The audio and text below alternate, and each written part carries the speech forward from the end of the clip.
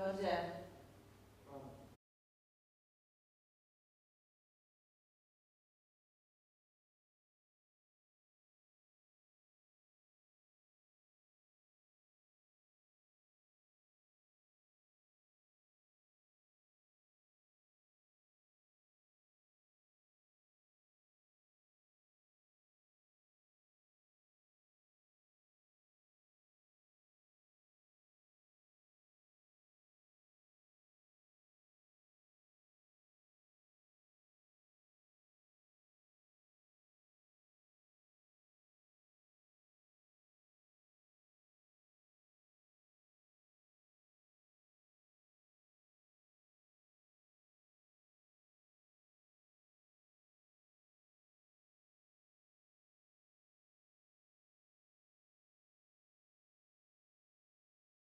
Đorđe. svima.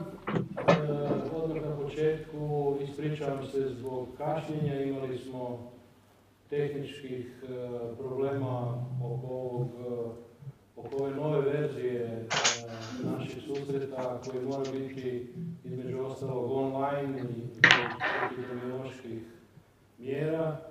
Dakle, sve vas još jedan pozdravljam na početku još jedne privrednikove tribine u ovim novim online uvjetima. E, I rekao bih e, na početku privrednikove tribine uvijek se bave aktualnim društvenim, političkim i kulturnim pitanjima, pa će tako biti i večeras. Naša tema za razgovor nosi naslov Čega se boje mladi Srbi u Hrvatskoj. Prije nego što pozdravim naše večerašnje goste, uvodu bih rekao nešto sasvim nepatetično.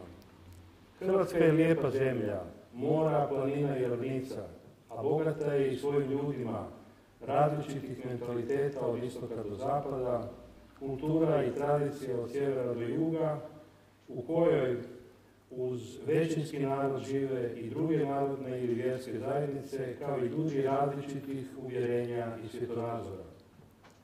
Tamnija strana ovog bogatstva različitosti je činjenica da se te različitosti često ne poštuju i da puno više od toga ti drugi različiti ljudi izloženi su pritiscima, napadima, često i fizičkim napadima i stigmatizaciji. U ovom slučaju radi se o ljudima srpske nacionalnosti, konkretno o mladim predstavnicima srpske zajednice u Hrvatskoj, i to je naša tema večeras. Pozdravljam naše goste e, na večerašnjem susretu, pučku pravobraniteljicu gospođu Loru Vidović koja će biti sa nama preko elektronske veze. Dakle, dobro večer gospođo Vidović. Dobro večer. Lijepo vas je vidjeti, makar distancijski. Sa nama je i Vilim Matula, saborski zastupnik e, političke platforme Možemo. Vili, dobro večer i tebi. Dobro večer vama svima, dobro večer gospođa Vidović. E, dobro večer isto tako gledateljicama i gledateljima. Pozdravljam i Jelenu Nesorović, predstavnicu omladinske mreže Srba u Hrvatskoj, kao i Dušana Velimirovića, predsjednika Akademskog društva Srpske omladine Josip Runjanin iz Vukovara. Dobro večer. Dušane, pozdrav i vama. Dobro večer, pozdrav vama svima. Na kraju pozdravljam i Mašu Samadžiju, privrednikovu predstavnicu i aktivistinu. Dobro večer. Ja mislim da bi na početku bilo dobro da zapravo prvo damo riječ ovim mladim ljudima, njihovim iskustvima, tegobama nažalost i razmišljanjima o ovoj temi, kod koje je na jednoj strani animozitet i mržnja, a sa druge strane strah. Pa predložio bih da počnemo sa Jelenom Nestorović. Jelena, vi dolazite iz Sunje, porijeklom ste iz Sunje, koja je e, teško stradala u prošlom ratu. u pripremama za ovu tribinu rekli ste mi da u Sunji postoji pojam da je Sunja drugi Vukovar, što možemo zaključiti iz onoga što se u Sunji događalo i što je ona sve preživjela. E, nastavili ste kasnije školovanje u Zagrebu i danas e, živite u Zagrebu. Što biste vi rekli o ovoj temi, razmišljajući podjednako i o Sunji i o Zagrebu? A isto tako i kao predstavnica omladinske mreže Srba u. Hvala vam. Pa, to su za mene kao neka dva života. U Sunji, ja sam porijeklom iz tog kraja, ali tu se konkretno radi o jednom selu Mala Paukova. I sad velika je razlika govoriti o Maloj Paukovi i govoriti o Sunji. zato što Mala Paukova pripada jednoj strani Sunje, jednoj grupi sela u kojima su prije rata živjeli gotovo samo Srbi.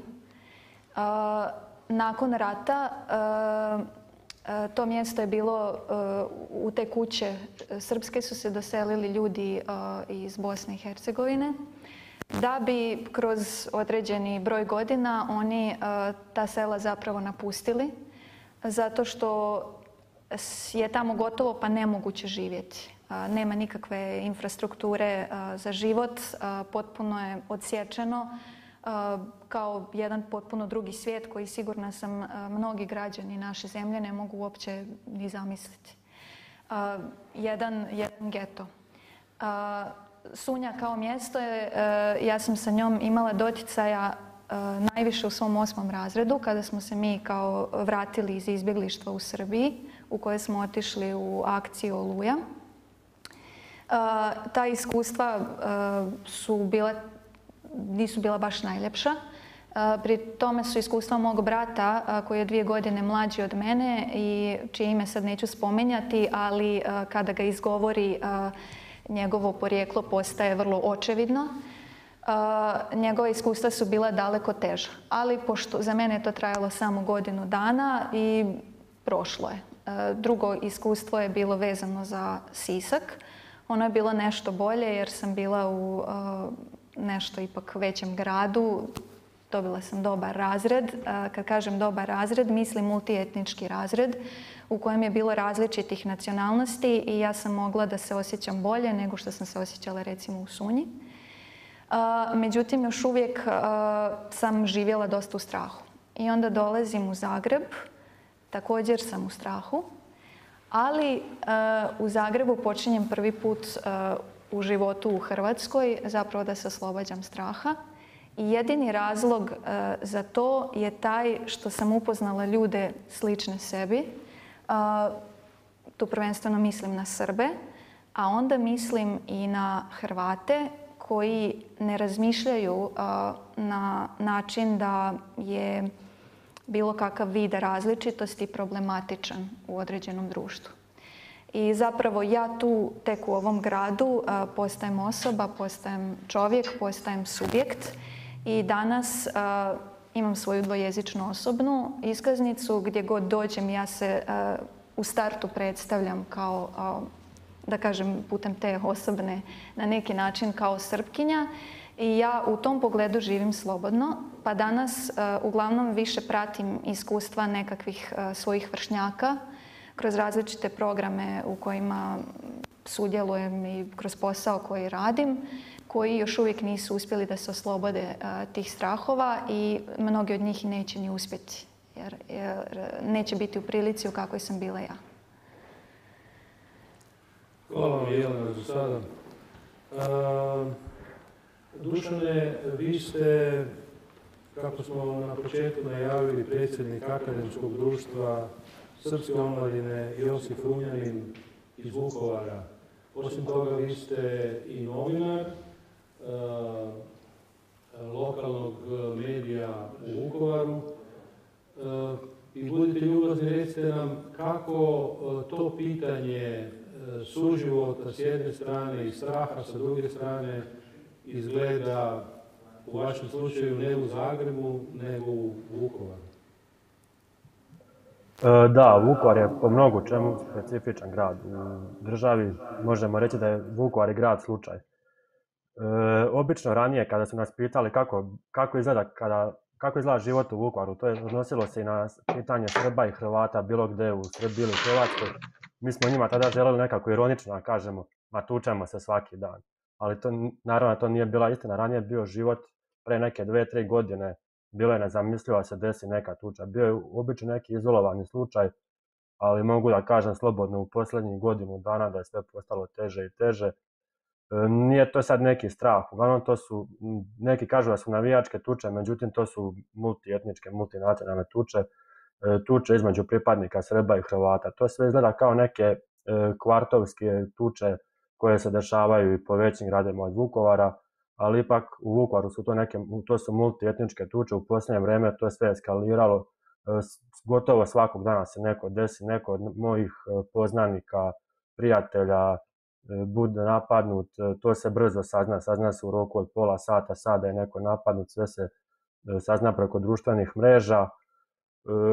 Pre nekoliko meseci interventna policija je poslana u Vukovar, oni sada u, patroliraju Borovu naselju, obično u Borovu naselju su te najviše tuča, jer, jer je tu je tehnička škola Nikole Tesle, neka poznatija kao Diš. E, tu obično dolazi do problema, je sada e, mnogo tome pridonose i mediji. Imamo sada primer jedne lokalne televizije koja je iznala jednu stranu priče e, kako jedan momak hrvatske nacionalnosti napadnut od strane 30 30 učenika tehničke škole Nikole Tesle, pripadnika srpske nacionalnosti. Međutim, e, nek, došao je taj neki demant, ni, ni demant nije 100% tačan, možemo priznati. Nismo, e, nismo sigurni da je demant 100% tačan, ali e, nismo iznosili uopšte nekih pre, previše detalja, jako smo saznali mnogo toga. Čuje. E, nakon toga naš portal Srbi HR napisao je neke članke gde smo pokušali da iznesemo neki vid e, srpske strane cele priče, jer niko to nije preneo. Preneli su, obično je na portalima je e, taj vid prenesen samo sa strane pripadnika hrvatske, pripadnika stanovnika hrvatske nacionalnosti, gde, gde su Srbi skroz marginalizovani, gde smo mi prikazani kao neki opet napadači, međutim istina da su se, to su se tukli maloletnici deca, ja verujem da su jedni i drugi krivi, da svako tu ima neke svoje probleme. E, s druge strane, roditelji takođe, roditelji utiču na, odgoj deteta, mislim da e, ta deca od 17 godina nisu toliko kriva, da njih, njih ne znam kako je uopšte došla ta mržnja do njih, verovatno uticaj roditelja, e sada, kao prepostavit ćemo, policija radi svoj posao, mi vidimo, policija svaki dan, policija je privela sve, ali ne, dalje ne znamo kako sudstvo reaguje na to sve. Dušane, ako, ako me čujete, postavio bi vam još jedno pitanje.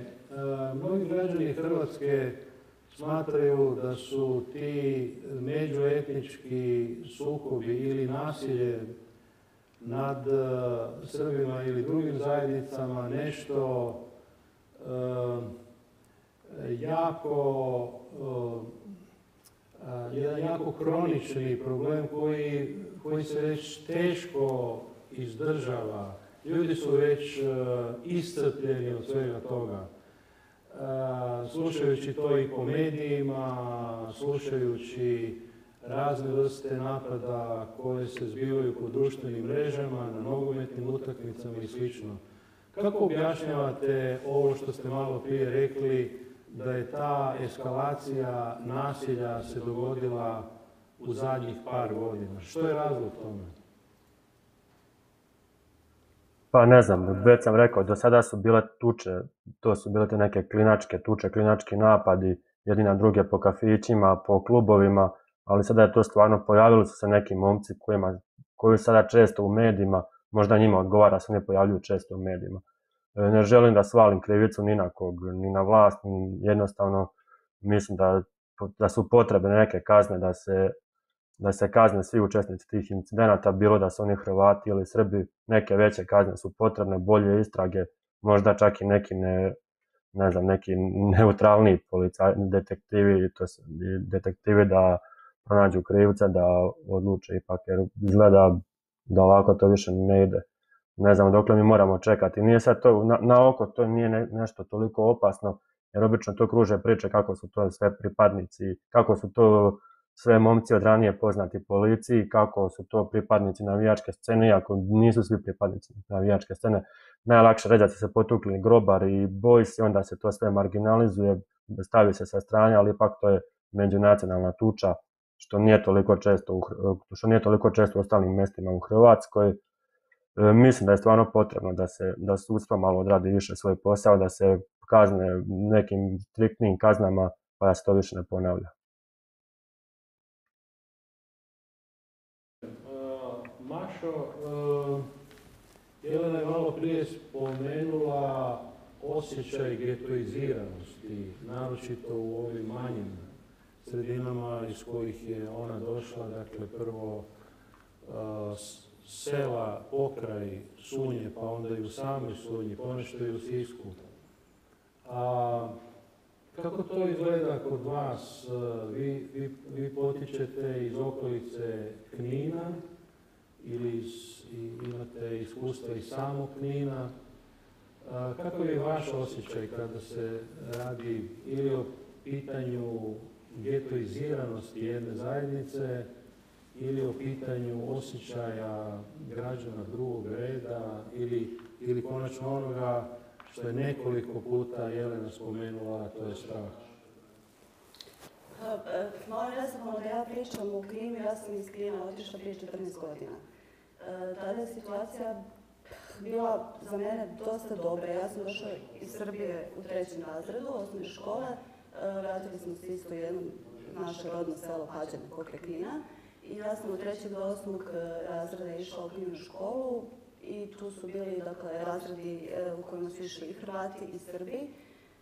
Ja mogu reći za sebe da ja nisam imala nikakvih problema u tom smislu. E sad, to ne znači da drugi možda nisu imali, da ja sad trebam generalizirati reći niko nije imao problema.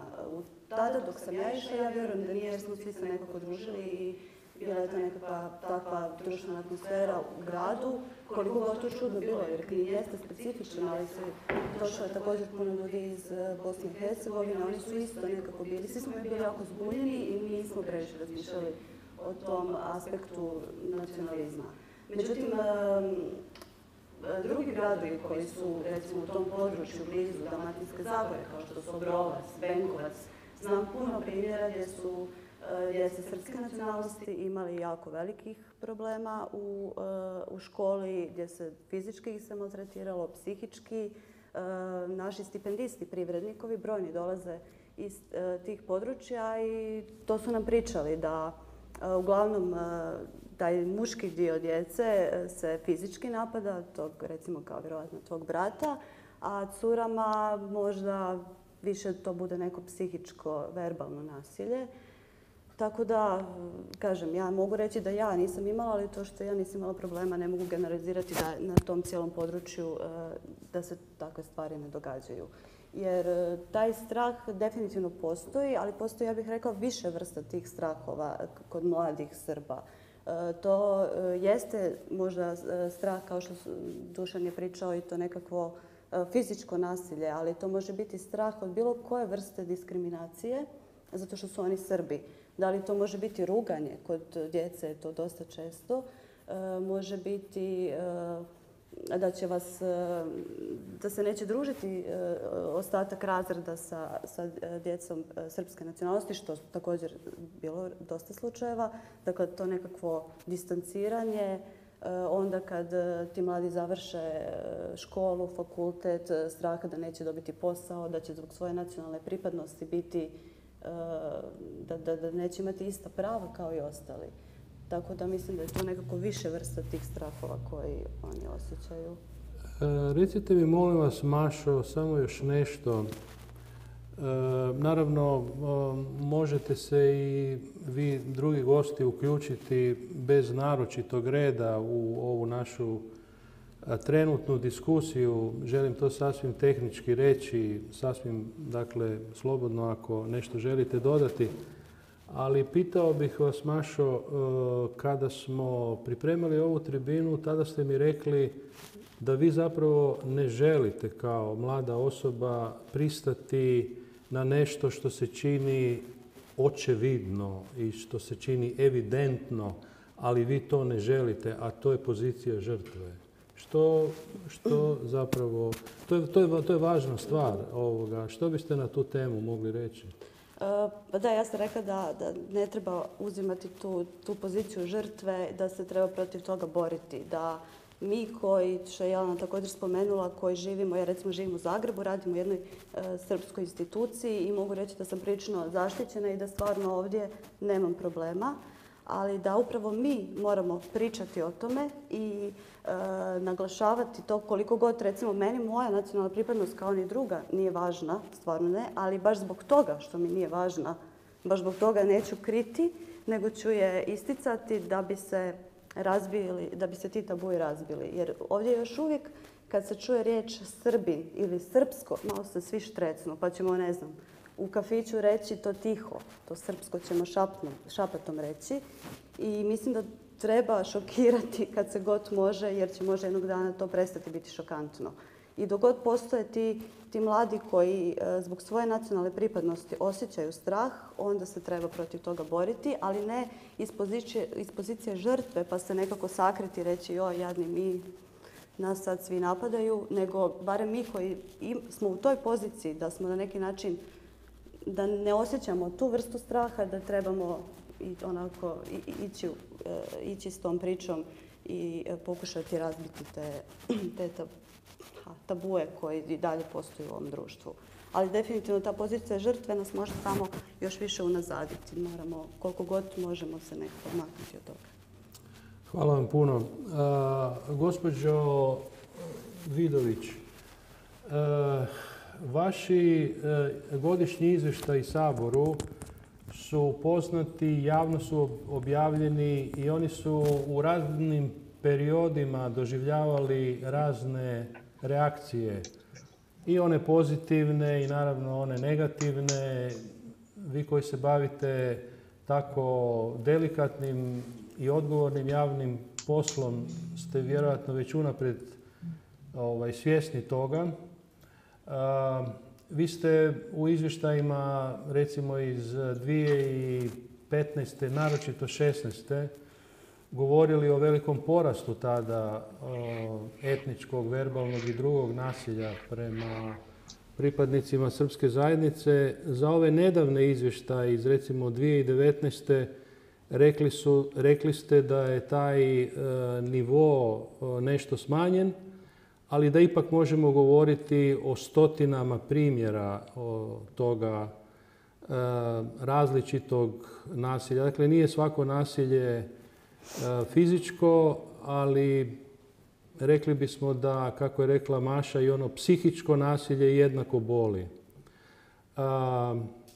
ovim poslom se bavite dovoljno dugo da biste o njemu mogli na neki sveobuhvatni način reći koliko je težak taj problem sa kojim se vi praktički svakodnevno kao pučka pravobraniteljica suočavate. Izvolite.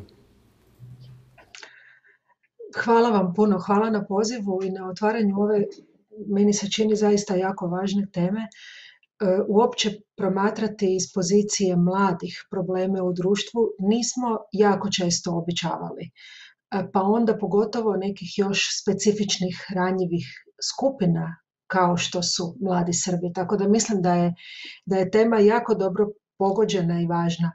E, I bilo je zaista dobro i važno čuti, ja sam nažalost čula samo Jelenu i Mašu, nisam i, i Dušana, ali mislim da su, da su vaša iskustva, to što ste nam vi rekli, zapravo izuzetno bitna, jer ne mogu ja govoriti o tome čega se boje mladi Srbi. Ne mogu to znati bolje nego što to znate vi. Tako da mislim da, da je to nešto što ja posebno slušam i uzimam u obzir u svom radu i, i to su ona iskustva, primjerice iz pritužbi koje nam se građani obraćaju, temeljem čega mi zapravo radimo godišnje izvješće onda o kojem ste, o kojem ste vi pričali. Ja naravno, dakle, ne govorim iz osobnog iskustva u smislu suočavanja sa strahom, nego iz jednog institucionalnog iskustva onoga što, što nama dolazi kao informacija bilo od samih građana, bilo nekim općim praćenjem. Ono što naravno znamo u, u neizvjesnim i teškim vremenima, a zapravo su sva vremena teška, da mladi ljudi općenito dijele istu sudbinu i nije, sami ste spomenuli, nije to strah samo od nasilja, to je strah i od pronalaženja posla i od što boljeg obrazovanja, ostati u Hrvatskoj ili otići iz Hrvatske. Tako to, to su strahovi, odnosno pitanja koja su zajednička velikom broju mladih u Hrvatskoj. Ono što se sasvim sigurno može reći specifično za, za e, mlade Srbe je da strah koji smo čuli od vas koji ste o tome govorili, ali i strah koji mi vidimo praćenjem situacije o čemu pišemo u izvješću, je da je to povezano upravo sa nacionalnim podrijetlom. Pa je onda strah da će ih neko napast dok šeću ulicom zato jer govore srpski. To smo imali na Braću prošle godine. E, da će ih neko napast u lokalnom kafiću jer gledaju utakmicu srpskog nogometnog kluba, pa smo to imali u Uzdolju. Da će neko napast jer navijaju za srpske nogometne timove, kao što je u Vukovaru. E, kažem, nisam čula Dušana, pa ne znam je li o tome govorio, ali mislim da to to je upravo kontekst o kojem, e, kojem čujemo iz Vukovara. Znamo da su srpski sportaši završili u moru na rivi u Splitu. Dakle, to, to je prilično opasan strah i, i sigurno nešto što, što moramo nekako truditi se da, da ipak takvih situacija bude što manje. Maša, vi ste spomenuli i diskriminaciju, dakle odnosno strah od diskriminacije. Znači ne radi se tu samo o fizičkom naselju, nego stavljanju, strahu od stavljanja u nepovoljniji položaj, bilo kod pronalaženja posla, bilo kod, kod, kroz, kod obrazovnih prilika. Jedna situacija koja se recimo može istaknuti sad da, da djeca u osnovnim školama koja se školuju na srpskom jeziku i pismu po modelu A su dobili udžbenike iz radne bilježnice iz hrvatskog, srpskog i književnosti i stranog jezika tek u veljači ove godine. Udžbenike i radne e, bilježnice za ostale predmete nisu ni dobili. Dakle, mislim da, da je to isto podatak koji jako dobro govori o, o tome kakav je položaj djece i mladih Srba u Hrvatskoj. I onda naravno znamo i za situacije u kojima se radi toga i ne izjašnjavaju kao Srbi jer se boje svih tih okolnosti. Maša, vi ste isto o tome dosta pričali. mislim da je jako važno i dobro imati e, predstavnike u zajednici, mlade ljude koji imaju tu snagu i koji mogu poslužiti kao uzor drugima u neulaženju u cipele žrtve, ali moramo znati da nema svatko za to snagu i da, da zaista moramo pomoći onima koji i jesu žrtve i osjećaju se kao žrtve da nekako iz te situacije izađu i da, da e, se s tim osjećajem što snažnije nose. Um, voljela bih još spomenuti istraživanje koje smo mi proveli 2019. u uredu o ne uredu, nego ured je proveo istraživanje među mladima u Hrvatskoj o govoru mržnje na internetu. I pokazalo je da 90% korisnika društvenih mreža, a korisnika ostalih internetskih mogućnosti jednako tako jako velik broj, da je vidjelo govor mržnje i da se on, taj govor mržnje na internetu, najčešće temelji na mržnji temeljem nacionalnog podrijetla ili etniciteta u gotovo 80%. Ono što mi se čini da također jako nas sve treba zabrinuti je jedna normalizacija takvog govora.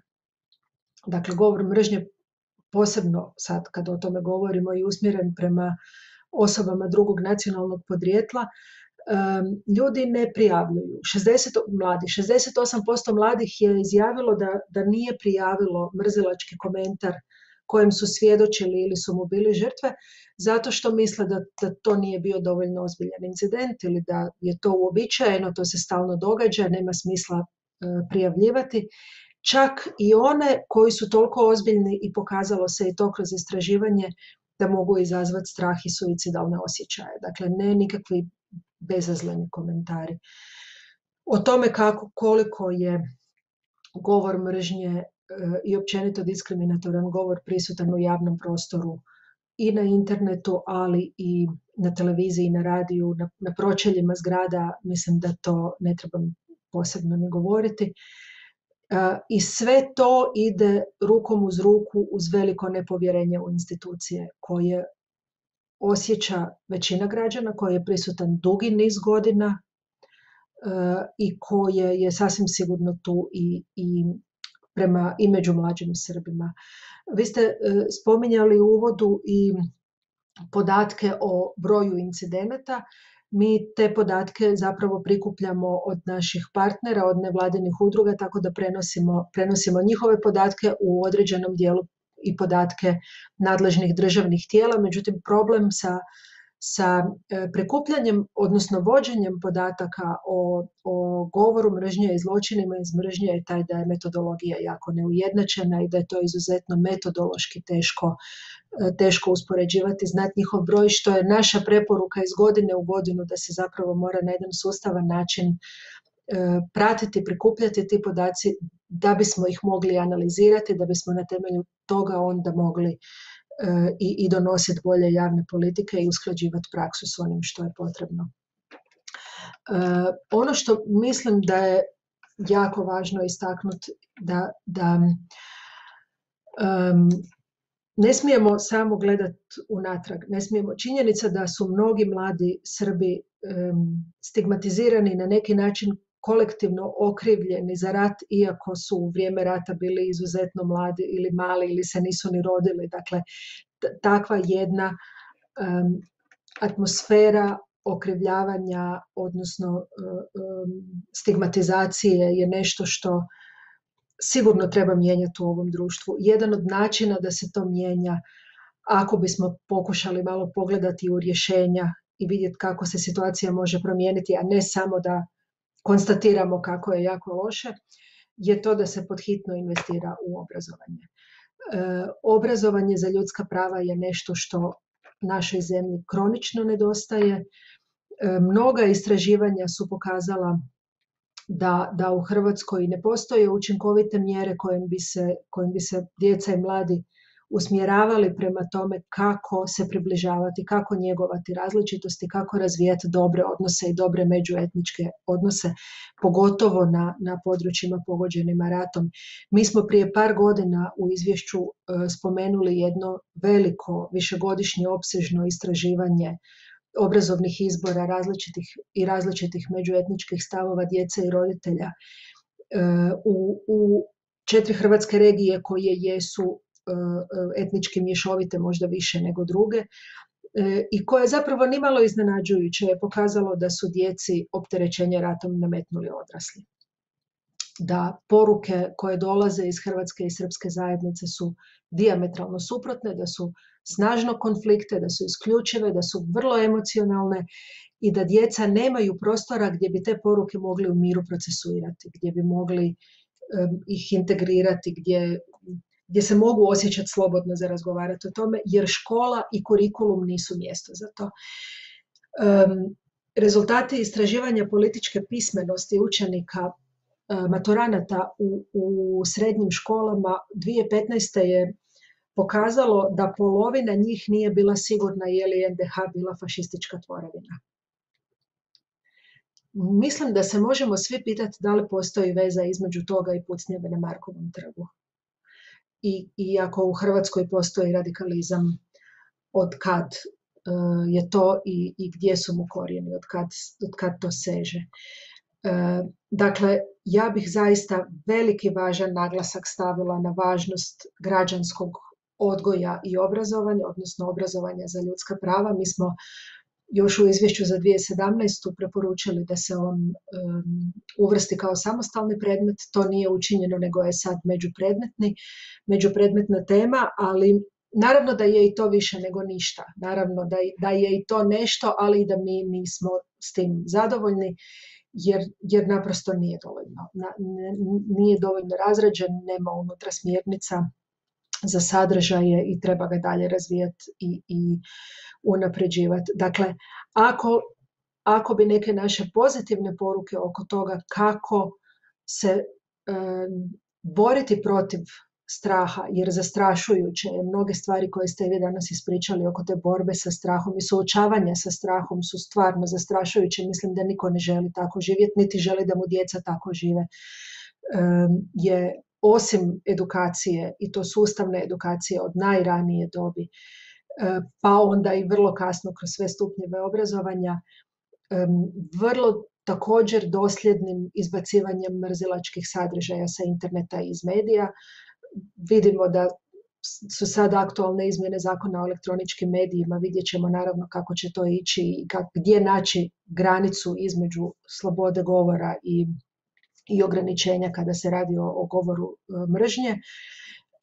Jedna stvar koja je izuzetno bitna je adekvatno prepoznavanje govora mržnje i zločina iz mržnje i onda i njihovo e, e, procesuiranje i sankcioniranje i to sankcioniranje koje bi bilo takvo da osim specijalne prevencije daje i generalnu prevenciju i da zapravo djeluje zastrašujuće prema svim potencijalnim e, počiniteljima. I na kraju bi završila zapravo sa, sa porukom koju također iz izvješća u izvješće mi spominjemo, a to je izuzetno velika odgovornost političara, donositelja odluka, političkih stranaka o porukama koje šalju.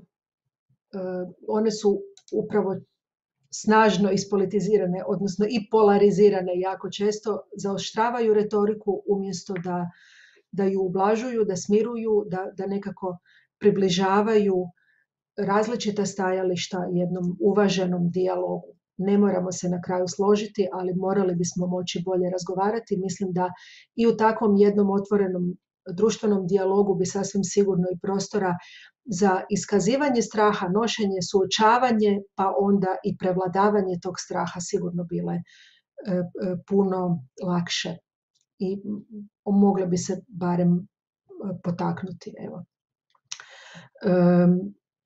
Hvala, Mi ćemo u svakom slučaju nastaviti.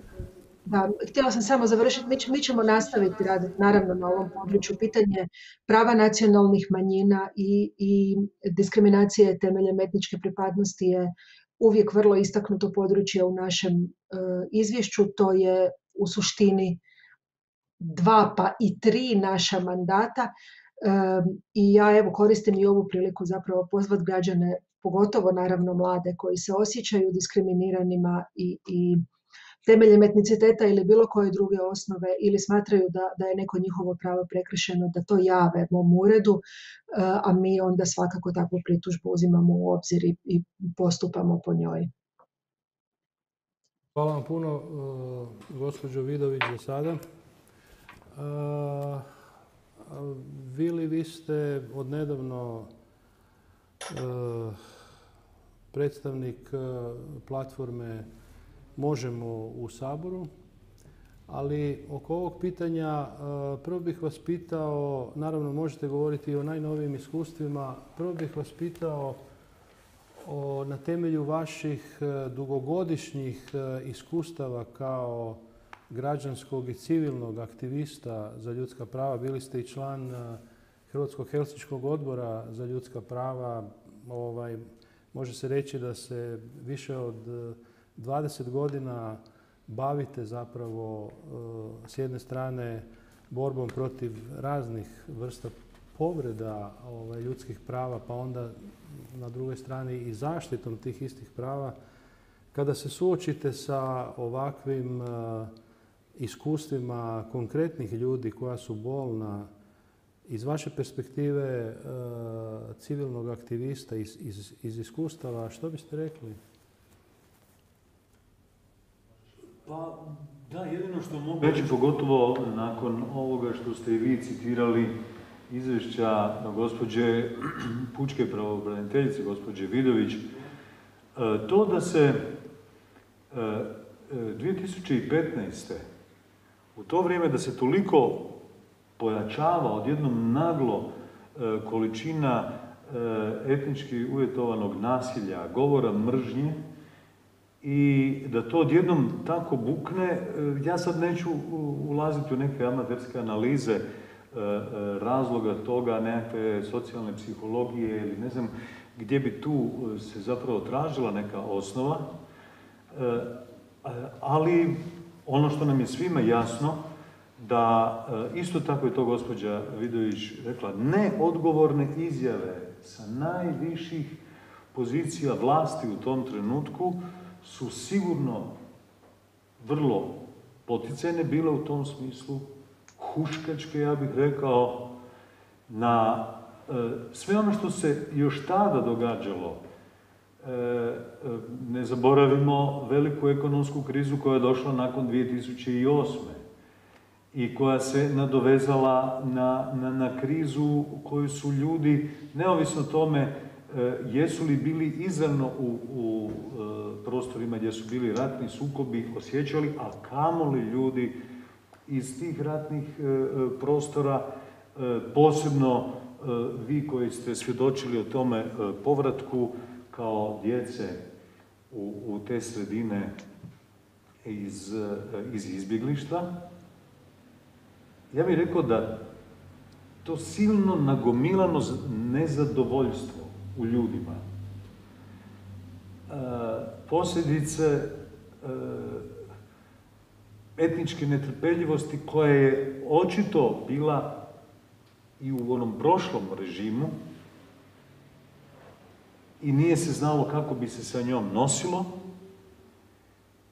I odjednom je ta stvar vodila u ovaj strašan krvavi sukob koji je još uvijek jedna otvorena rana i rekao bi da je moguće čak odmah nakon samog e, e, sukoba i užasa jedno vrijeme je rana bila toliko bolna da, da se činilo kao da su ljudi malo na nekoj distanci, e, koliko toliko e, pristojni i nekako vidajući vlastite i tjelesne i duševne rane, i onda na svo to nezadovoljstvo i na cijelu priču koja je kod nas potpuno krivo postavljena, a to je ideja da sam ja Hrvat, da je to prvo najvažnije u, moje biti, a što znači biti Hrvat? A definicija je ne biti Srbin. Mislim, znači ja sam ne Srbin. To je ono što je bitno što me određuje.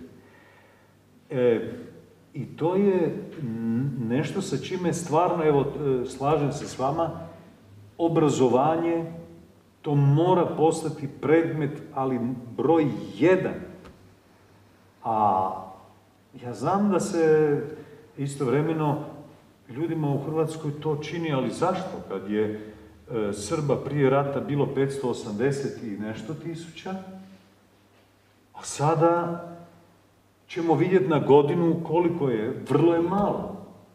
Vrlo je malo ostalo, a i naši mladi odlaze van glavom bez obzira i sve što je imalo obrazovano juri van glavom bez obzira, pa ko će nam obrazovati uopće sljedeće generacije? I e, moj dojam je da stvarno, ako ćemo to tako e, dozvoliti, da će se onda e, taj silni nagomilani bijes zbog svih mogućih nevolja na kraju iskaljivati na, na svim nacionalnim skupinama, ali i na svim, koliko god malo Srba ovdje ostalo, jer to nije nikada dovoljno. Onda naravno da valjda idu na red kako ide po toj logici svi susjedi koji su se sa njima družili ili pozdravljali. Mislim, ta stvar ide u vrlo, vrlo lošem smjeru. I evo, sad da ipak to malo pokušam na, na optimizam okrenuti, reći ću ono, vlastite primjere. Jedan primjer je, e, kada sam prije dosta godina, baš ono u vrijeme dok je e, Žarko Puhovski e, vodio Hrvatski helsinški odbor i radio jedan silno važan posao i vi ste ove tome svjedočili jedan ogroman posao i tu se stvarno, ono mora se zgroziti na način uopće i kako ga je predsjednik ovaj, u, u zadnjim tim nekim ispadima ja ne znam uopće kako bi to nazvao, ne, to nije samo pitanje vređe, nego kakve su to ovaj način, interpretacija nečega, gdje bi čovjek pomislio, ja sam još stariji od predsjednika, ovaj, da je čovjek bio tamo i prisutan i da, da ne znam, sve to zna i tako jednoznačno tumači.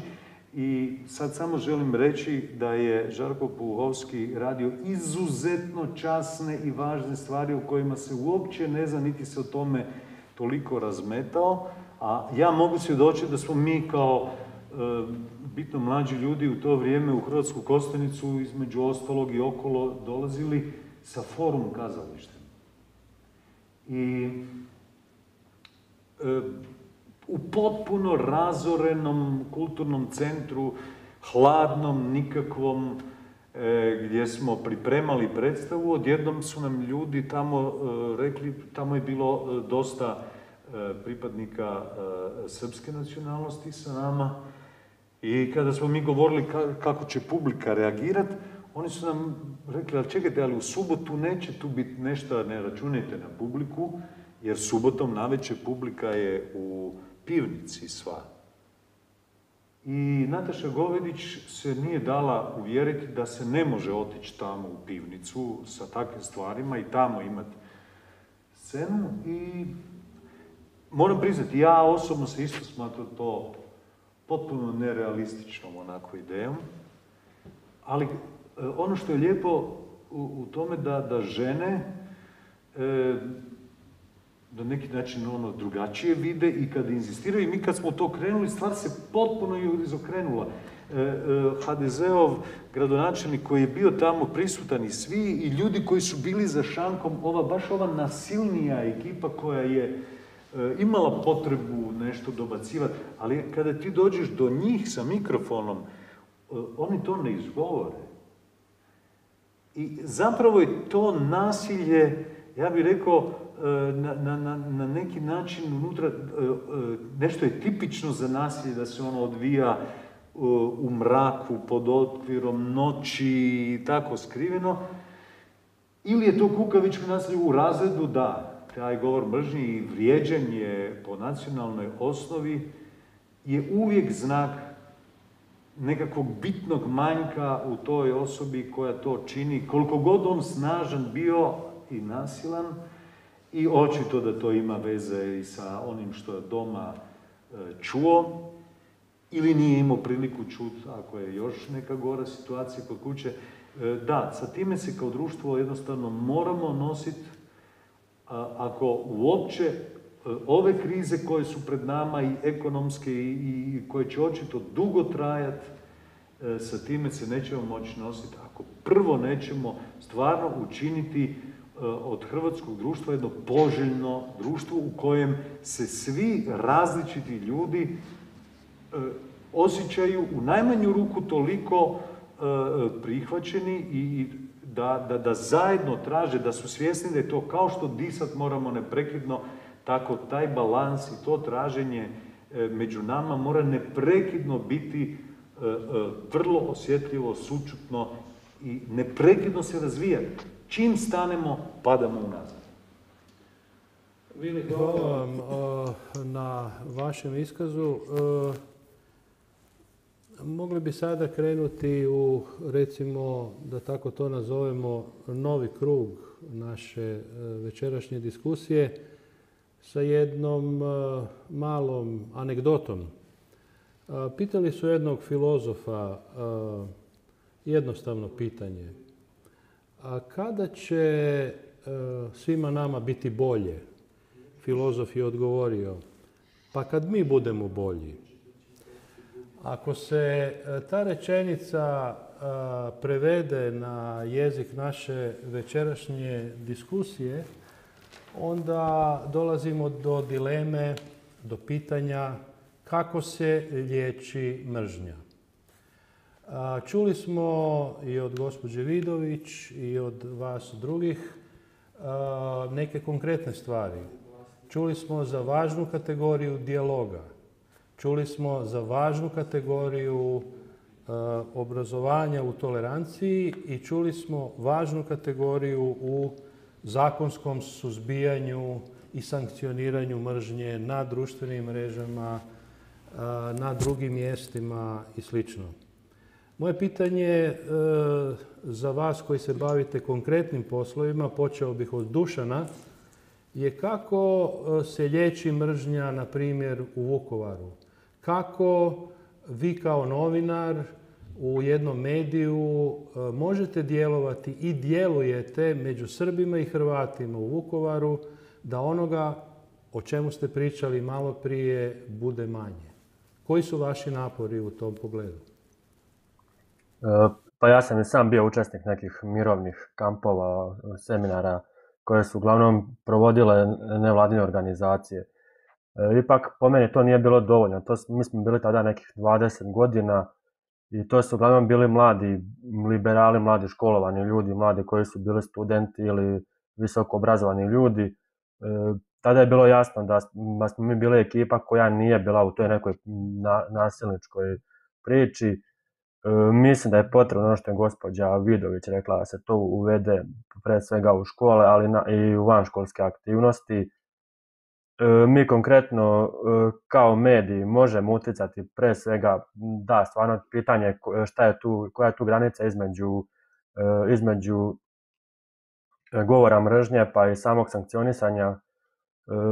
Mi uglavnom sankcionišemo, to jest blokiramo osobe koje koje šire mržnju na našoj stranici. E, sad, koliko je to demokratski, koliko nije, nije na nama da odlučimo, ali to je najmanje što mi možemo da napravimo, to je da sankcionišemo e, tako te osobe koje unose mržnju i nemir u, među našim čitaocima. E, nakon toga, ne znam, ja mislim da se to treba stvarno uvesti u škole, možda čak i u osnovne škole, kad deca još formiraju svoj identitet, formiraju svoje ponašanje, tada roditelji najviše utiču na njih. Mislim da je to srednja škola, fakultet, da već kasno se formira neko važnije mišljenje, važnije ponašanje dece. Ali ja bih voleo reći malo i da Vukovar nije čak, ja sam ga malo i ocrnio u prvom ovom bloku izlaganja, e, ja nemam tolike probleme kao što su imali Maša i Jelena, ali sam ja rođen, ja sam rođen u Vukovaru, sam odrastao u Borovu, u Borovu e, školovao sam se po ovom modelu, E, manjinskog školovanja, nisam imao nikakvih problema od, strane pripadnika hrvatske zajednice, hrvatskog naroda. E, nakon osnovne škole prešao sam u srednju školu, ekonomsku školu Vukovar, gde, gde su bile takođe podeljene smene. Ja sam išao u srpsku smenu, drugi su išli u hrvatsku. Nije bilo nekih sukoba, više su to bili neki privatni sukobi, pa tukli su se i Srbi međusobno i Hrvati međusobno. To ništa nije bilo toliko strašno. E, na fakultet sam išao u Osijek, tu mi je tek čak i bilo, imao sam nekih e, prednosti zbog toga što sam Srbin, mislim da sam bio čak nekim profesorima malo i zanimljiviji, ono, dosta su me ispitivali, čak bilo pitanje otkud sam rođen 93. godine u Vukovaru, kako je tada bilo, kako malo zanima, zanimao ih više taj život nas Srba, nije bilo toliko da sam ja sad bio nekom negativnom tonu. Čak sam i uživao, mogu reći, kao pripadnik srpske zajednice tada u Hrvatskoj. E, vi, Dušane, pišete za portal Srbi.hr. Da. Kak, kakve su reakcije na, na tekstove koje vaš e, portal objavljuje? Pretpostavljam da i nešto sam i gledao u pripremi ove tribine. E, vaš portal nikako nije mrzilački, nego je miroljubiv. Kakve su reakcije? Pa da, mi se... Pa ne znam. Izvolite. Mi se uglavnom bavimo životom srpske zajednice u Hrvatskoj, pogotovo na području istočne Hrvatske, ali i Dalmacije. Takođe e, imamo neke svoje dopisnike, svoje ljude sa kojima se čujemo sa područja Gorskog Kotara, pa čak Banije, Korduna, Like, Zagreba. Ali sada se da malo desilo ovi problemi oko Negoslavaca. Mi smo, Negoslavci su striktno vezani za Vukovar, E, kada je došlo do hapšenja e, osmero ili devetoro ljudi, tada smo mi to preneli, uzeli smo izjave od načelnika opštine i tada su, došli su komentari, preneli su nas drugi, preneli su nas drugi mediji, svi veći mediji u Hrvatskoj i tada je došlo do, može se reći, nekih problema, počele su svađe u komentarima, počelo je pa počelo je vređanje, jedni, jedni drugi su vređali Srbi, su vređali Hrvate, Hrvate, Srbi, opet klasična priča, ko je kriv za rat, vi ste krivi, vi ste krivi, To je ono što sam rekao, to, to se treba sankcionisati. Uvek smo za zdrave rasprave. Imamo dosta e, pratioca koji su Hrvati, koji, koji nekad nešto zamere, ali to nije vređanje, to je ono to je uglavnom neka, neka pozitivna kritika, nešto negativno, pa i čak i kad je negativna kritika mi to prihvatimo i nastavimo dalje sa radom. Hvala vam puno. Jelena, vi ste predstavnica mreže mladih Srba Hrvatske. Koliki je utjecaj vaše organizacije na neku vrstu suživota većinske zajednice i manjinske? Koliko ste vi prepoznati koliko uopće vaše djelovanje pomaže u nekoj vrsti snošljivosti i slično? Minimalan. To je negdje naš put, to je put u kojim ćemo mi kročiti u budućnosti svakako, ali ono što smo mi do sada radili, znači bilo je prvenstveno vezano za povezivanje Srba, za njihovo na neki način osnaživanje, za učenje i mlađih i starijih generacija da, smo, da mi ne smemo zaboraviti da smo mikrojači svoje sudbine. Nismo u potpunosti, ali jednim dobrim dijelom jesmo. Ako to zaboravimo, onda ćemo zapasti ovo stanje žrtve o kojem je Maša lijepo govorila. Znači, mi se jednostavno moramo pokrenuti. Naš smisao onoga što mi radimo jeste potaknuti ljude da sami uzimaju stvar u svoje, ruke, u svoje ruke i da rade male promjene na nekakvim lokalnim nivoima. Smisao je bio pokazati da nisu sami, da ima još ljudi sličnih njima, nekakvo pobratimstvo lica u svemiru za početak u našoj zajednici, a onda je plan krenuti dalje. Imamo baš konkretan plan u tom pogledu. Ono na čemu smo, jedna lijepa akcija koju smo imali bila je zapravo vezana za Hrvate u Srbiji. ali mentalni sklop Hrvata u Srbiji ili bilo kojih drugih manjina u bilo kojoj drugoj zemlji i nas ovdje je isti. Mi smo manjina u nekoj većini i mi se međusobno jako dobro razumijemo. Odlično se shvaćamo, na prvu kliknemo i slično, ali tako nećemo uspjeti ostvariti promjenu. Jedino sa interakcijom, interakcija sa većinom će dovesti do, e, e, do e, promjene. Tako da je to smjer u kojem ćemo morati ići u budućnosti. Ali s obzirom da smo kretali od početka, prije upravo nam je u subotu bio sedmi rođendan, morali smo krenuti prvo, da kažem to tako, od ljudi srpske nacionalnosti, jer su oni bili nekako prvi krug sa kojim smo željeli raditi. Ja bih e, željela reći da smo u tom procesu, e, mislim, e, doprinijeli tome da mnogi od tih mladih ljudi budu manje u strahu i da dobiju nekakav vid nade da ipak eto možda nešto malo mogu da promijene, da e, njihov glas može doprijeti do nekih razina do kojih možda ranije nije mogao doprijeti, da nekakvi njihovi problemi, dvojbe, strahovi, pitanja će moći možda kroz usta nekih drugih ljudi biti artikulirani. Mislim da je važno ovdje reći e, i za Dušana, i za Mašu, i za mene. Mi danas ovdje možda nekome djelujemo kao hrabri ljudi, ali ja ne bih to tako rekla. Ja radim u Srpskom narodnom vijeću, Maša radi u Srpskom privrednom društvu Privrednik, Dušan radi u zajedničkom vijeću e, opština. Znači, mi radimo u srpskim organizacijama. Ja ću reći ono što će mnogi ljudi koji budu ovo gledali pomisliti. Lako je nama. I tačno tako. Lako je nama. Ja neću izgubiti posao zato što ovdje govorim da su Srbi e, ugroženi. Mene neće neki tamo prijatelji gledati ukrivo zato što sam to govorila ili neka moja okolina ili nešto slično. Ali da su ovdje neki drugi ljudi koji rade u nekim drugim firmama, koji žive e, neki život e, ne onakav kakav je Dušan prošao u školovanju, jer je to život u jednoj zajednici, a ne život sa drugom zajednicom, nego dakle koji žive sa, sa Hrvatima. Koliko bi oni e, bili hrabri da ovdje govore da nešto, ja nisam sigurna, i mislim da to možda čak ne bih ni očekivala od nekoga.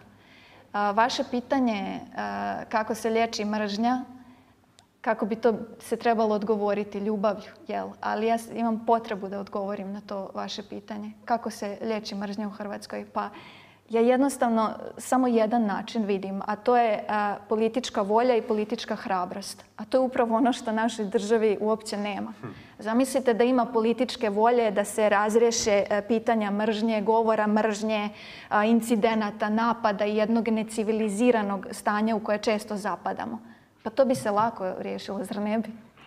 koji je problem da se riješi za dom spremni? Može neko da mi hm. objasni?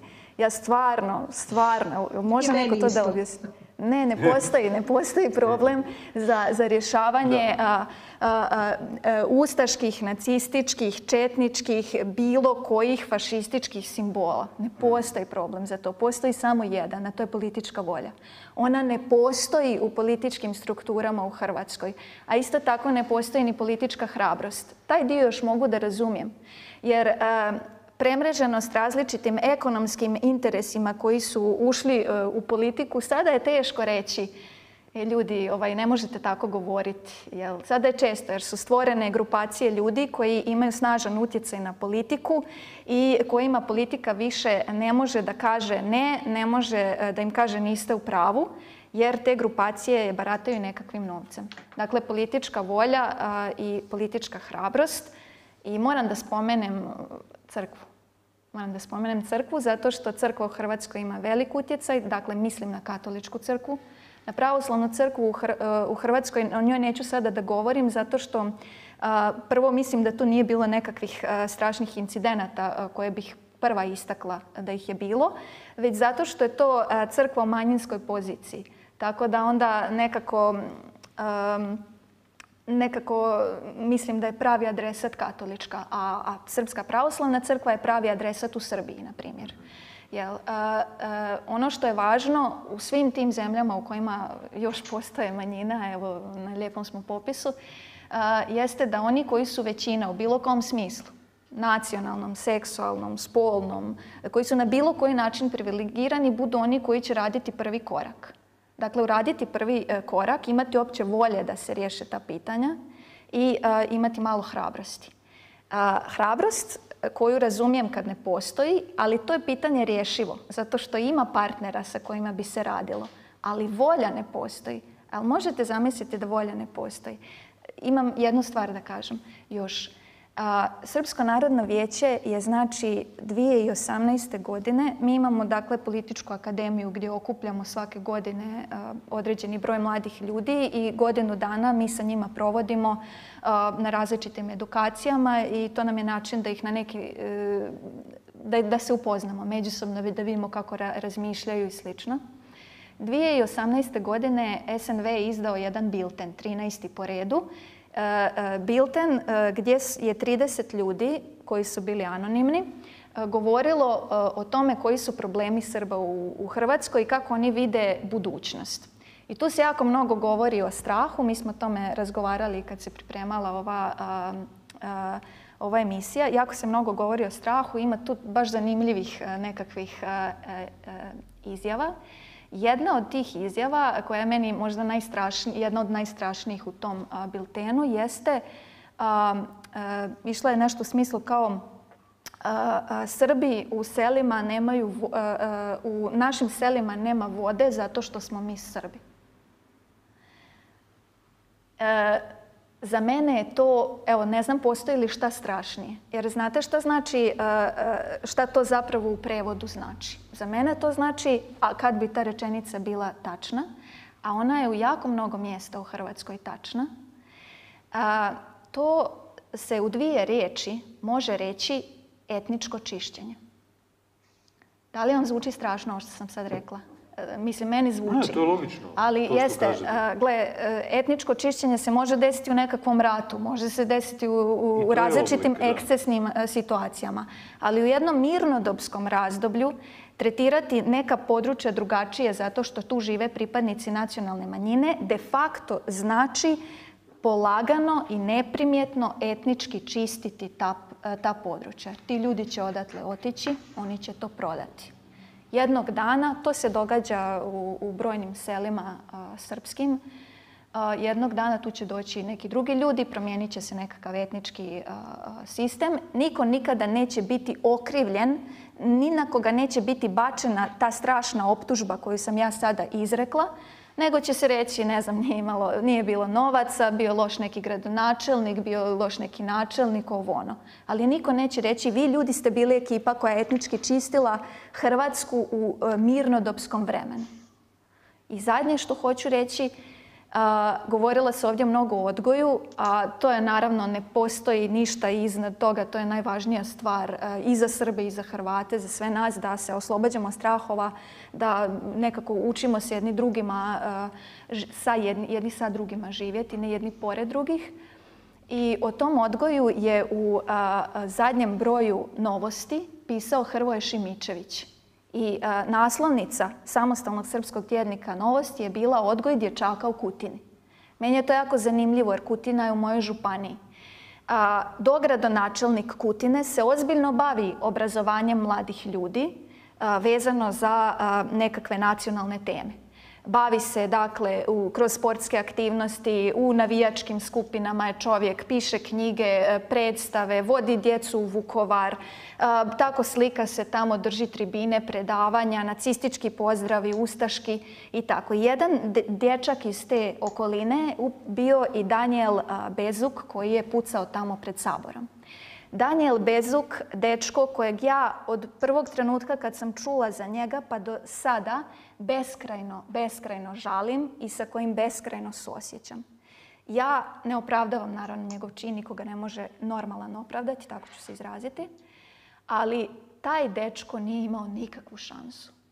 Nikakvu. Upravo zbog tog odgoja dječaka u Kutini i odgoja dječaka u još mnogim drugim mjestima. On nije mogao da, da on nije imao pravo, to je jedan Hrvat. Znači koliko je takvih dječaka u Vukovaru, u Hrvatskoj, koji nemaju nikakvu šansu da jednog dana budu ljudi koji će sjesti tu pored nas i pričati sa nama o ovim stvarima. Nebitno, možda mi nismo neke cvećke pa da sad trebaju sa nama da sjede, ali neće imati priliku biti normalni ljudi.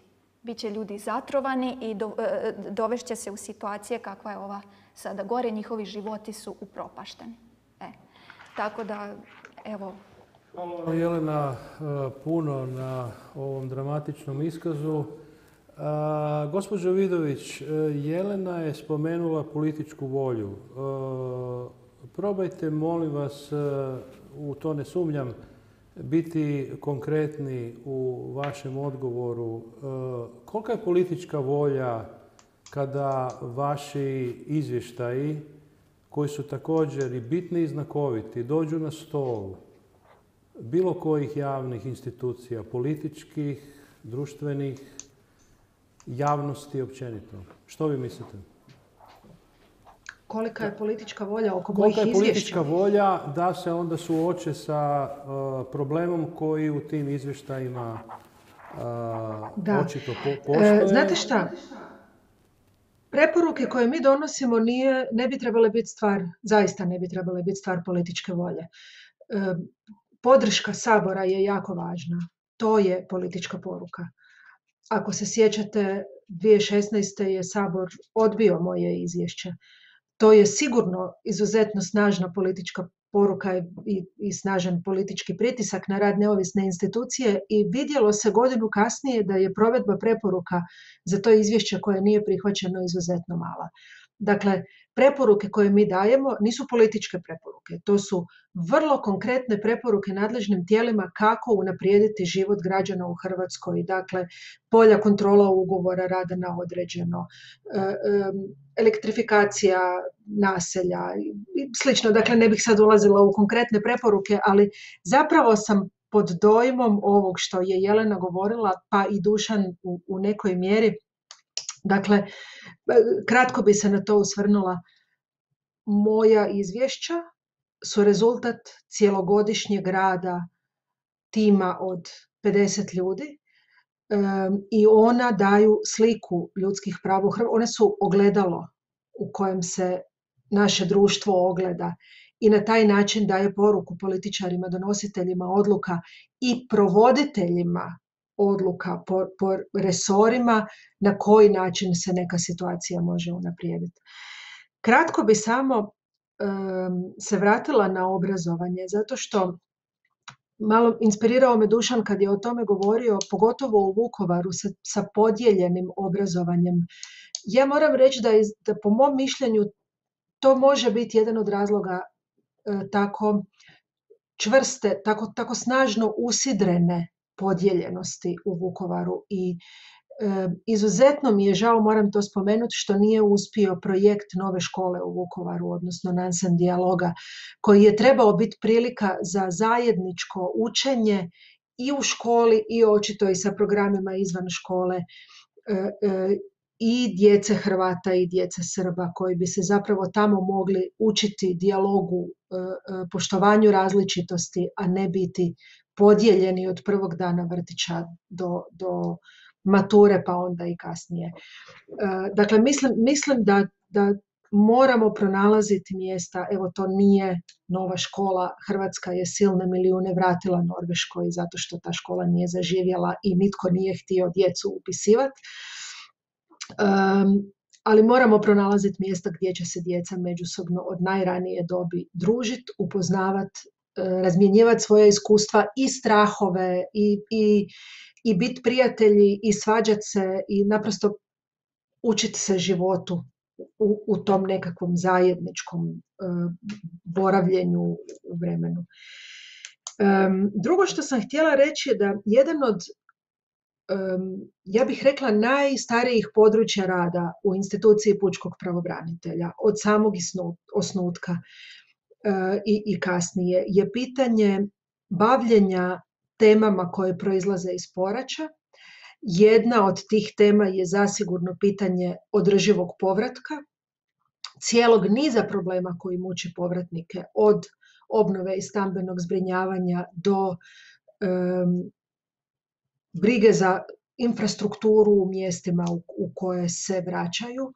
Ono što mi vidimo je izuzetno slaba regionalna, neujednačena regionalna razvijenost, područja koja su ja znam da vi to sve sasvim sigurno znate iz prve ruke, ali iz perspektive moje institucije je važno spomenuti. Dakle, e, e, povratnička sela u kojima više ne živi 50 ili 100 ili 150 ljudi, nego možda pet osoba starije životne dobi koja nemaju infrastrukturu, nemaju pristup socijalnim i zdravstvenim uslugama. Elektrifikacija je izuzetno skupa i neisplativa i mislim da tu neko razumno objašnjenje i postoji, ali ne za alternativne oblike e, energije i investiranje u ono što jest isplativo za, za te obitelji i vidimo da se u određenoj mjeri to ipak i događa. Dakle, to je nešto za što iz godine u godinu mi pišemo, upozoravamo, surađujemo sa, sa Državnim uredom za obnovu i stambeno zbrinjavanje, ali i sa HEP-om i sa Ministarstvom regionalnog razvitka i drugim, drugim tijelima. Međutim, ono što ipak ne možemo, a sad dopustite da govorim djelomično kao i pravnica, ali i iz perspektive institucije, ne možemo to ipak nazvati etničkim čišćenjem. Rekla bih da etničko čišćenje ipak opisuje jedan sasvim drugi obrazac ponašanja e, i, i uzroka i, i posljedica i koliko god ovo bila situacija koju je sasvim sigurno potrebno mijenjati, mislim da ju ne smijemo nazvati etničkim čišćenjem. I ovo što sam rekla, sam rekla na jednoj općoj razini. Moram također reći da na pojedinačnoj razini kada smo imali pritužbe na diskriminaciju stanovnika nekih zaseoka, a dobivamo ih dobivamo ih svako toliko. Primjerice zašto srpski, srpsko, srpski dio sela nije asfaltiran, a hrvatski je. Jel? E, zašto on, oni dijelovi sela gdje su srpske kuće ili srpski zaseoci nemaju uličnu rasvjetu, a hrvatski imaju. E, sjećam se postupka jednog takvog kojeg smo vodili i gdje su brojke bile toliko male i u u hrvatskom i u srpskom zaseoku, da mi naprosto diskriminaciju nismo mogli dokazati. Dakle, u pravnom smislu je, je to jako teško. ono što moramo, institucionalno, građanski i naravno svi koji su na, na pozicijama odlučivanja, i tu se apsolutno slažem pitanje političke volje, to je nešto što zaista može onda promijeniti situaciju i što može te alternativne izvore energije, te solare staviti ljudima na kuću ili, ili cisterne tamo gdje ne može biti vodovoda, ali ipak može općina cisternu po, ako već ne besplatno, po relativno povoljnoj cijeni dovesti do onih koji su najugroženiji ili kod odvoza smeća. To su sve situacije u kojima smo mi u uredu postupali. Dakle, tu politička volja čak i u komunalnim pitanjima jest itekako bitna, a onda naravno da je bitna i, i u nekim općim politikama, pitanjima e, zabrane e, simbola koji proizlaze iz nacizma, iz, iz mog mišljenja je nešto oko čega zapravo uopće ne bismo trebali e, nešto dugo razbijati glavu je li to prihvatljivo ili nije. Jel to je pitanje ustavnih vrijednosti Republike Hrvatske, tako je rekao i Ustavni sud. Nažalost, politička volja se često pokaže tek nakon groznih incidenata. Pa onda ovo na Markovom trgu što se nije trebalo i smjelo dogoditi, ja se nadam da će ipak poslužiti kao neki poticaj za, za donošenje kvalitetnijih odluka, a onda i za provedbu tih odluka ako se prepoznaje da je motiv bila netrpeljivost, mržnja, vidjet ćemo u konkretnom slučaju jel to jest motiv ili nije. Ako se ovo smatra radikalizacijom, kako se protiv te radikalizacije boriti. Završit ću sa jednom poslovicom mojima u uredu sam već dosadna kad to spominjem. Koje je najbolje vrijeme za posaditi drvo? Znate li koje je najbolje vrijeme za posaditi drvo? Prije 20 godina. Drugo najbolje vrijeme za posaditi drvo je danas. Dakle, ako nismo učinili sve što je trebalo jučer ili prije 20 godina, nije kasno ni danas da pokaže tko ju ima tu političku volju, a mi svi drugi da ga u tome ohrabrujemo, podupiremo, evo iz perspektive institucije pučkog pravobranitelja da preporučamo, da upozoravamo, da se nekako što je više moguće borimo protiv nejednakosti, ali da jednako tako e, e, pazimo da u tome zadržimo okvire, strukturu, da, da se borimo za vladavinu prava u svakoj situaciji, u svakom slučaju. Evo, toliko od mene. Hvala vam. Gospođo Vidović, ovaj, mi u toku ove tribine smo dobivali e, dosta poruka koje su sakupljene u ovaj, administraciji ove tribine i e, dobivamo informaciju evo za ovaj skup da od brojnih mrzilačkih komentara koji su ispod ovog videa postavljeni ima i mnogo ohrabrujućih gdje se gledatelji zahvaljuju što su otvorili ovu temu. A za gospođu Vidović pitanje, e, molim vas, sad smo već polako na kraju ove emisije, gospođo Vidović, za vas e, mnoga pitanja se svode na jednu, na jedno. Na koju adresu da se jave vašem uredu oni koji su doživjeli diskriminaciju ili su joj svjedočili? Na koju, dakle, adresu? info.ombudsman.hr Ja mogu napisati u chat.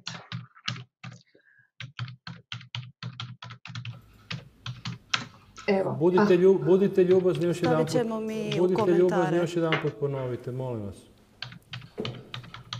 Info et, dakle manki, ombudsman.hr Puno vam hvala, gospođo Vidović. Evo, sad polako se približavamo kraju. Ostaje još e, da pitamo gospodina Matulu koji se nalazi u Saboru e, u okviru e, platforme Možemo.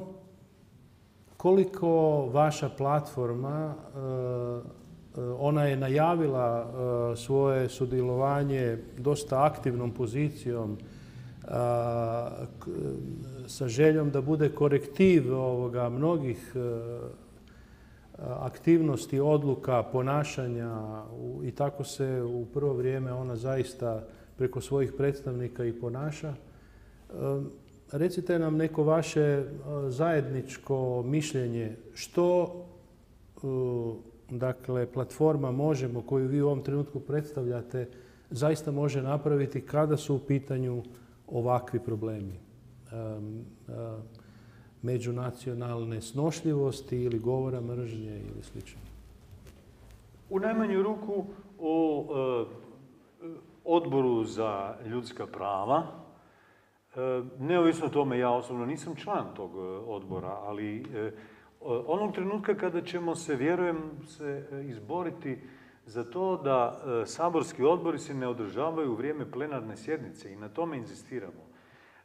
Mi smo u predizbornoj kampanji kao platforma Možemo, ali i naši koalicijski partneri u zeleno-lijevom bloku, mi smo tvrdili da kada uđemo u Sabor, da ništa više neće biti isto i da ćemo stvarno razbucati puno toga kao što smo to učinili i u Gradskoj skupštini u Zagrebu.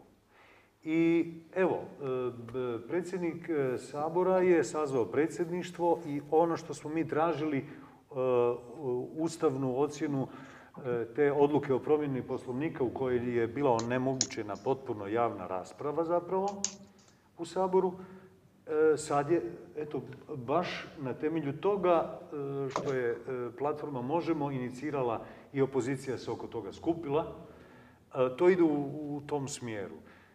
Uvjeren sam da možemo, jedna od stvari koju umjesto da to samo radi vaša televizija, potpuno je nepojmljivo da javna televizija, Hrvatska radiotelevizija, još uvijek nije raspravljala o izvještaju niti poslovnom ni programskom od prošle godine, od 2019. A da ne govorimo da je sada kraj godine, a da 2020. uopće nije donešen e, program. I, I, da uopće programsko vijeće mislim da čak nije niti kompletno koliko znam. Toliko tu stvari ima.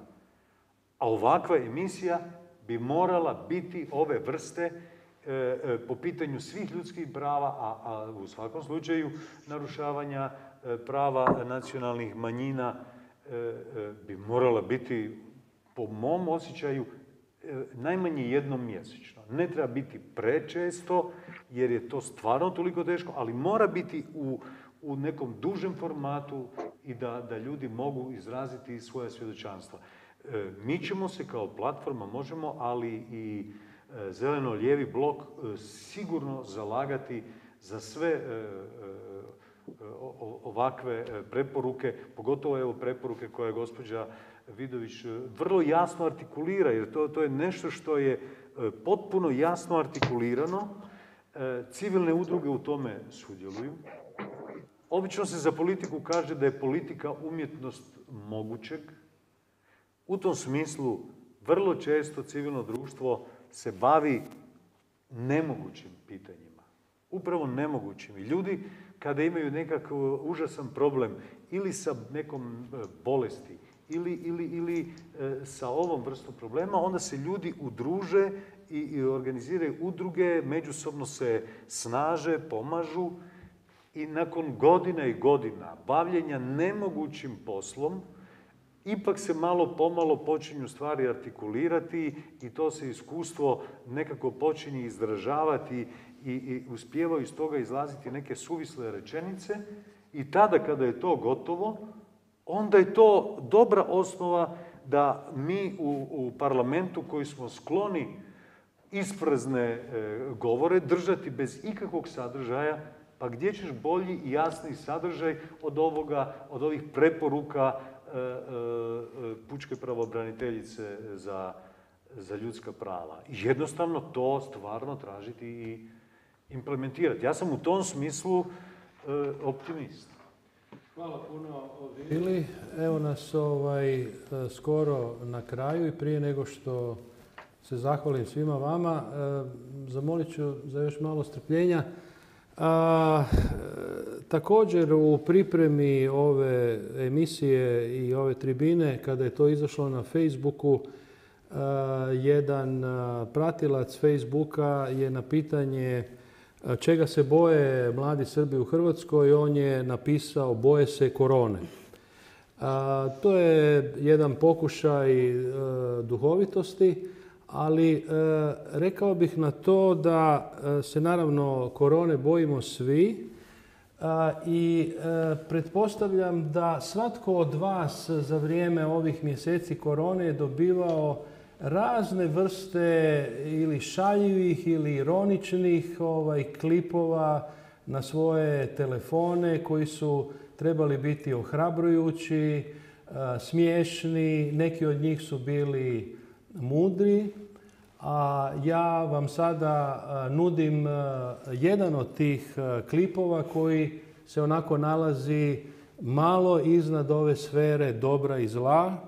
To je jedan monolog glumca Voje Brajovića, pa imajte strpljenja ga još ovaj, poslušati i onda ćemo se za večeras oprostiti. Molim režiju da pusti ovaj mali prilog.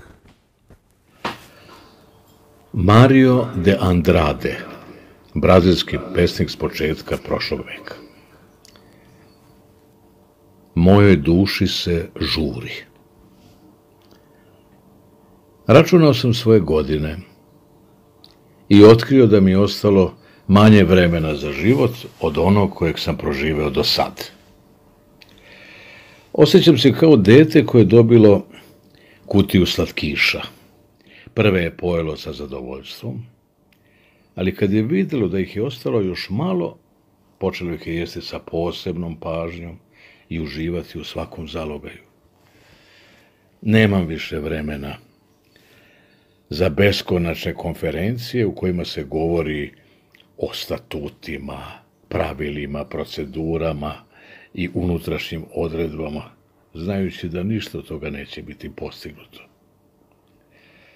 Nemam više vremena da podnosim absurdne ljude koji, uprkos podmaklim godinama, još nisu odrasli. Nemam više vremena da se borim sa neostvarenim. Ne želim da budem na skupovima gdje se ego naduvava.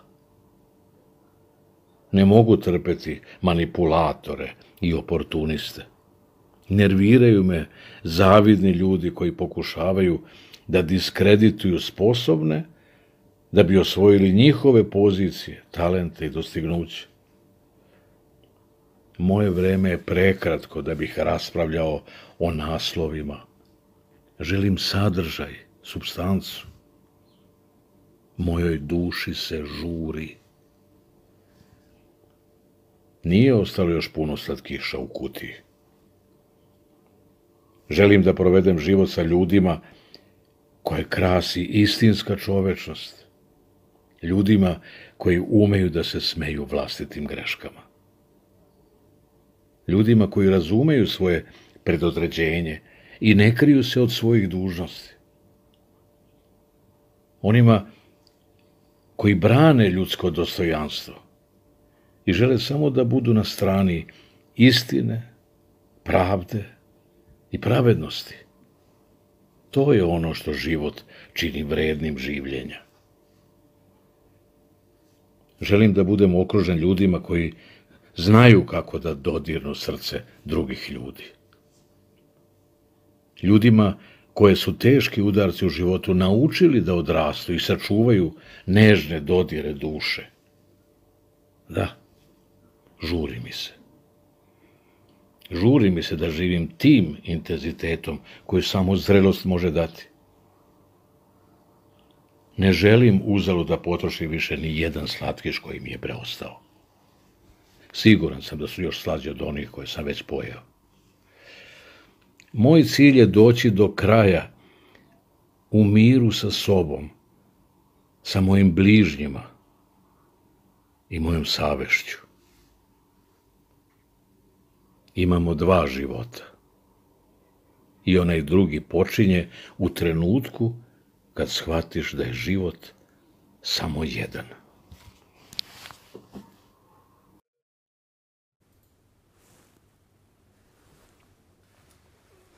Ako se svi zajedno čujemo, da li se čujemo? Čujemo. Da li se čujemo i sa gospođom Lorom i sa Dušanom. i sa Dušanom Čujemo, čujemo, da. A, voljeli bismo se večeras i od njih e, na ovoj tribini oprostiti. Da li nas oni barem čuju? Čujemo. Čujemo, čujemo, da. Odlično. Ovaj, dakle, e, dragi naši gosti, hvala vam svima na sudjelovanju na ovoj privrednikovoj tribini. Sljedeću zakazujemo za 10. studenog, to je također utorak, kada ćemo razgovarati o također jednoj aktualnoj temi.